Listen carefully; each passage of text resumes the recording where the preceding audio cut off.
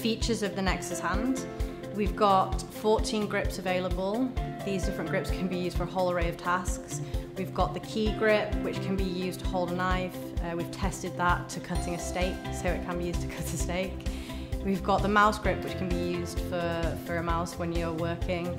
Um, we've got an integrated flex wrist, which can be locked into three different positions, which has been a great feature for, for users because it reduces shoulder compensation, reduces pain associated with uh, the overcompensation.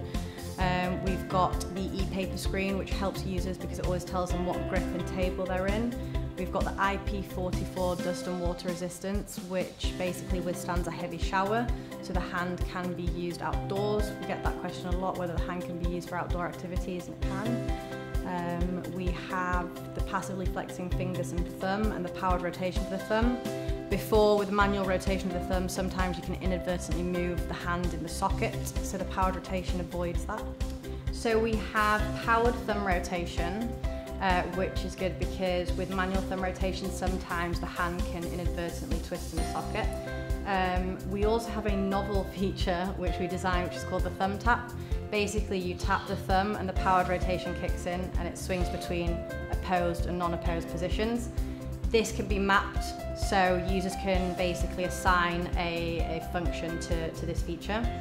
Uh, we also have the flex, the passive flex in the fingers and the thumb.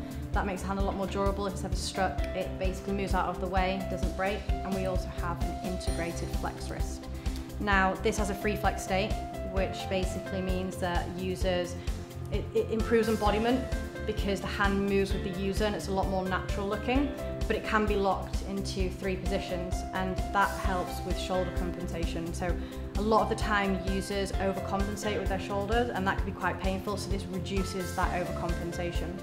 We also have the e-paper screen, which tells users what grip and what table they're in. At first, it could be quite confusing coming to terms with all the different grips that we have available. Um, and so this table, this screen always tells them what grip and table they're in, and so they never get lost in their config. Bye.